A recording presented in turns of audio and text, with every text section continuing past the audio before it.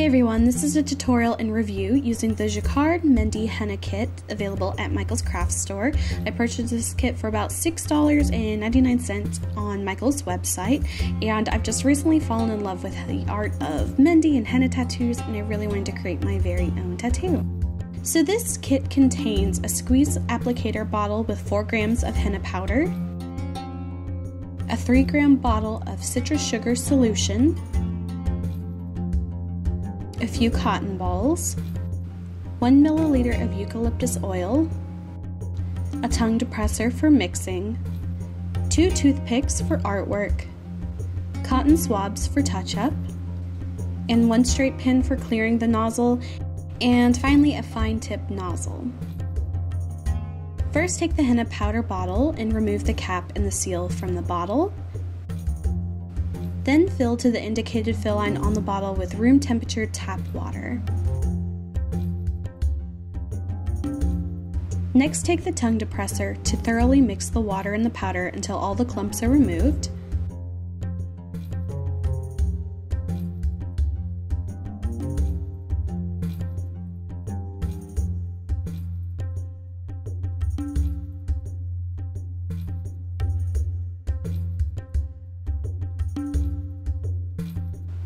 And then add the whole vial of eucalyptus oil into the bottle and continue mixing for 5 minutes until the mixture is an even green paste.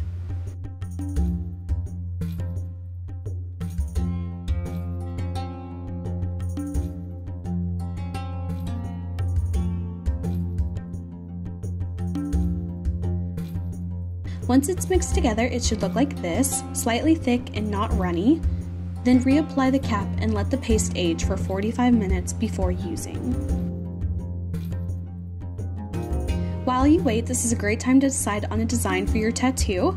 I am recreating a design I created a few weeks ago with liquid eyeliner if you saw the picture on my Instagram.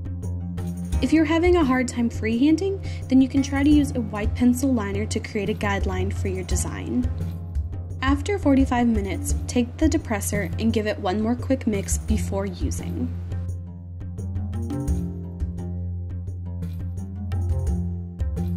For fine lines, I attach the small tip of the nozzle to the bottle. And just a little tip I have, if you use a little bit of clear tape to wrap around the nozzle, it'll help to keep it on the bottle without falling off. Now you're ready to create an awesome tattoo design.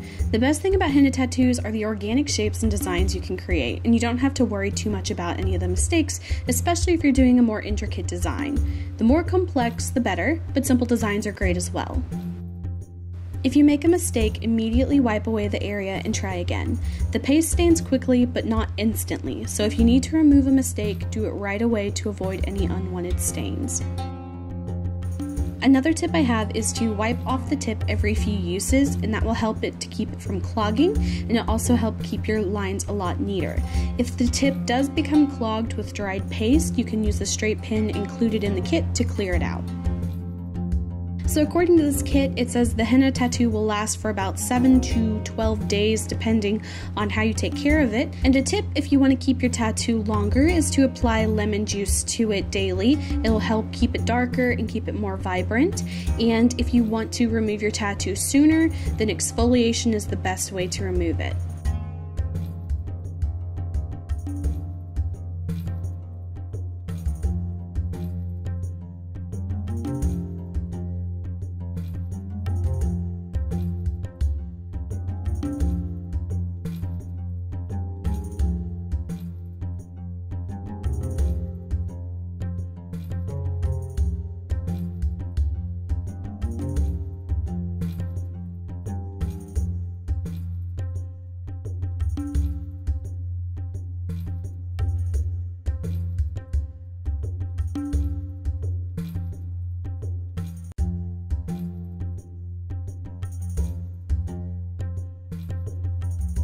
After you're finished with your design, allow the paste to dry for about 10 to 15 minutes or until the paste has hardened. Next, fill the citrus sugar solution with water and take a cotton ball and gently apply it to the paste. This will help the henna design last longer and stain darker. Be careful not to apply too much of the solution or it can dilute and blur the finer lines. Now leave the henna on your skin for as long as possible. The stain can be left on for up to about 12 hours, but usually around 3 hours is sufficient for an even dark stain. And after the henna has had time to stain, the instructions of this kit says to use vegetable oil and a cotton ball to remove the paste.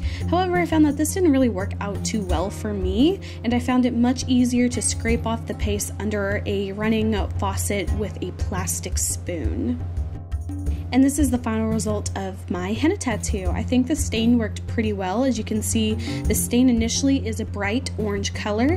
However, it does darken to a slightly duller brown after a few hours. After this tattoo, I had enough paste left over for possibly eight smaller tattoos or maybe one or two larger designs like the one I did here. So overall, I really enjoyed using this kit. It was a fun way of applying my own henna tattoos, and I think that this would be a really great kit for parties and for friends, and overall, I'm just really happy with my result. So that is it for this video. I hope you guys enjoyed. If you did, please like and subscribe. You can follow me on Instagram, the link is below, and until my next video, I will talk to you guys later. Bye.